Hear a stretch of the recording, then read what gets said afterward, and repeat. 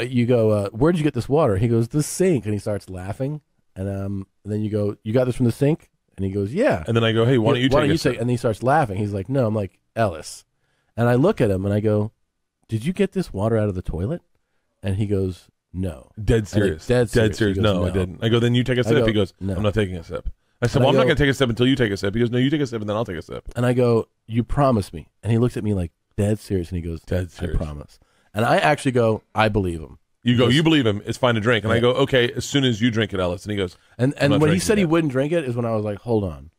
So I go over to the bathroom and I open the door, turn the light on, and I see a water trail to the toilet. directly, like, Right from he the toilet. dunked it in, Yeah. didn't even cover his tracks, water dripping off the glass from the toilet over to where Yeah. he was. And I look in the sink, the sink's totally dry, and I'm like, Ellis, you got this from the toilet. And he goes, I'm sorry. Yeah.